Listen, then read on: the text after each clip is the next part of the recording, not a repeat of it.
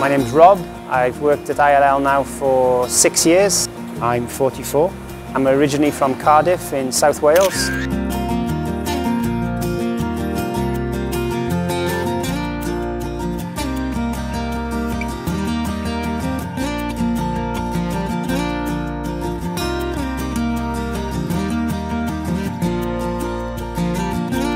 At ILL I work for a group which is made of a team of nine people.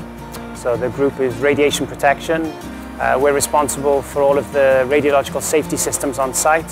So we control all of the materials leaving the reactor building and any controlled or supervised areas on site to ensure there's no radioactivity or no activation of materials.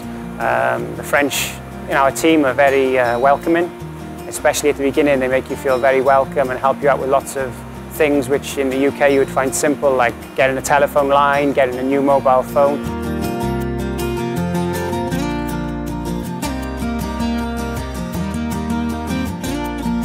After coming to France and the, the, beautiful region to ride the bike, I started riding just for, for fun and pleasure. Uh, I train mostly in the Chartreuse. I train obviously coming back and forth to work. That's 30 kilometres in and 30 kilometres back. So every day I, I get a 60 kilometre training ride for free. Uh, I also then travel home via the Chartreuse and do some nice climbs in the Chartreuse. The mountains are beautiful and it always amazes me after 15 minutes of leaving work you can be in the Chartreuse, in the mountains, going past waterfalls, little wooden chalets and looking down on the city of Grenoble and see where you were just half an hour ago, you know, it's, it's impressive.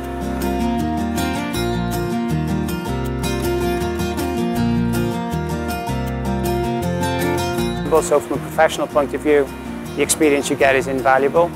Also, uh, the team at ILL, for me, is the, is the best. It's not just work colleagues, it's friends, and ILL does feel like a, a big family where if something needs to be done, people get together and get it done, and everything seems to work very smoothly.